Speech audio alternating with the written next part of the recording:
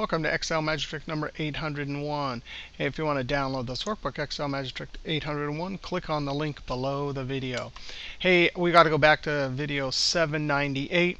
In this video, we did a search, so we're going to search for MANN, and we want to return all the records that have MANN. If I type MAM, so it's like a partial text lookup in this column here and returning multiple records.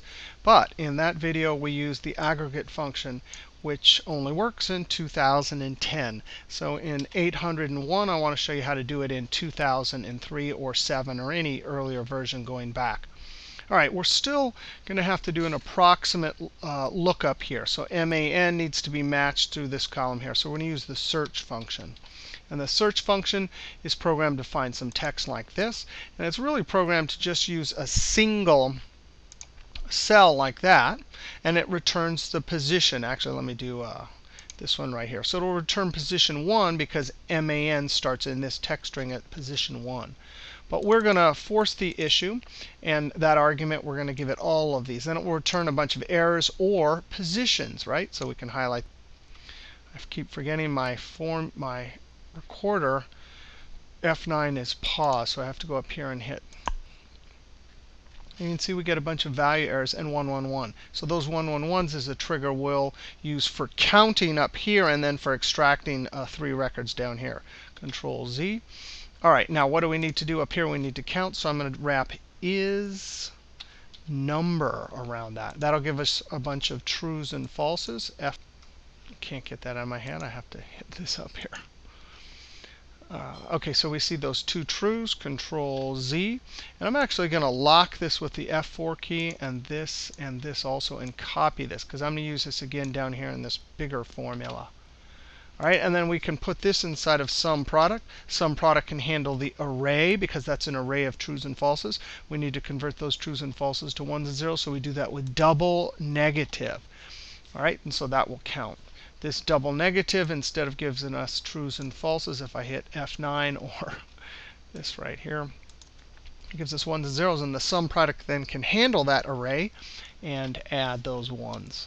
All right, now here we're going to create a formula just like we did in uh, 798. We're going to copy down, but we need it to turn off after the third row. There's only going to be three records. So down here we need blanks. So we're going to use the if equals if and we're going to use our number incrementer inside of a formula, which is the rows function. I'm in F7, so F dollar sign 7. Notice I'm locking the number colon F7. That way right now 7 to 7 is one row, but when I copy this down, that 7 will move to 8, 9, 10. So that's our number incrementer. Is 1, 2, 3, 4, 5 greater than 3? F4 to lock that.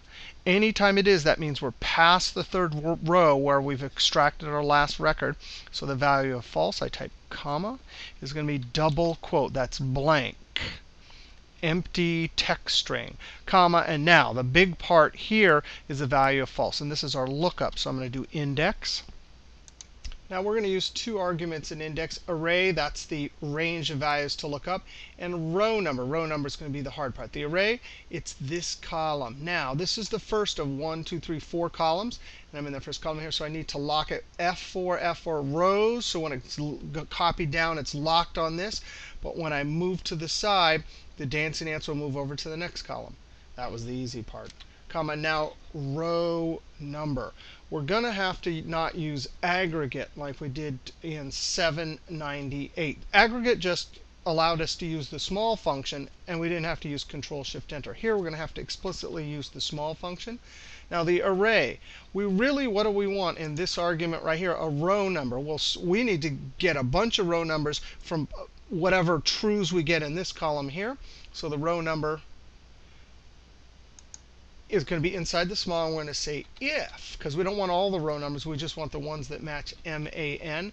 And the logical test is going to be what? Where we already saw it, Control V from up there. And if you highlight this and hit the F9 key, which I can't do because that's my pause, you can see it's a bunch of trues and falses. So now, this is inside of the if logical test. So for value if true, we're going to have to give it all the row numbers. And then wherever it sees a true here, 1, 2, 3, it'll look through the value of if trues and retrieve those row numbers. Control Z.